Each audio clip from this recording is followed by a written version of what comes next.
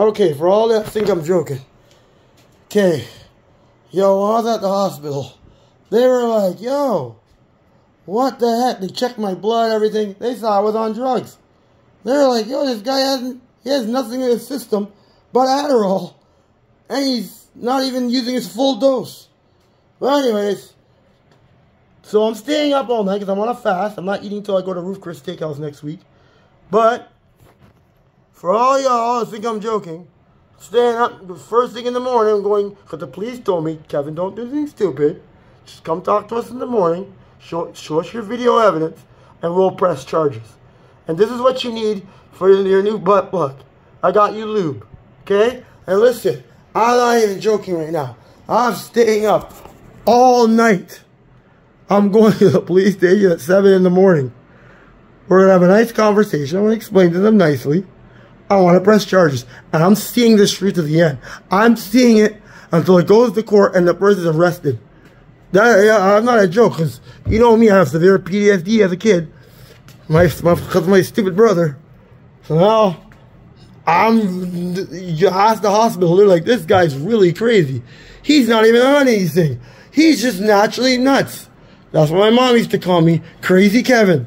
And she pro- and I promised her on her deathbed, I will never stop being Crazy Kevin. The cuckoo child.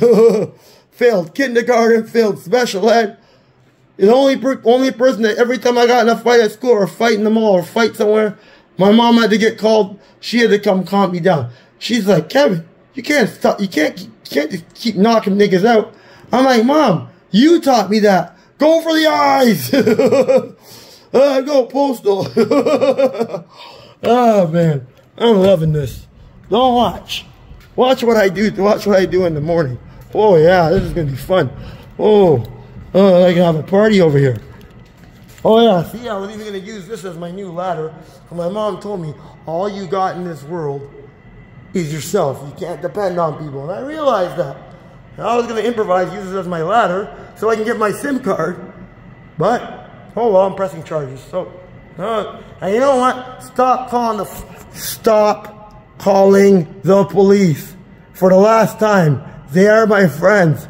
You're costing yourself more taxpayers' money. So every hour you go to work, you gotta pay them to come talk to me and say, hi, Kevin, how are you today?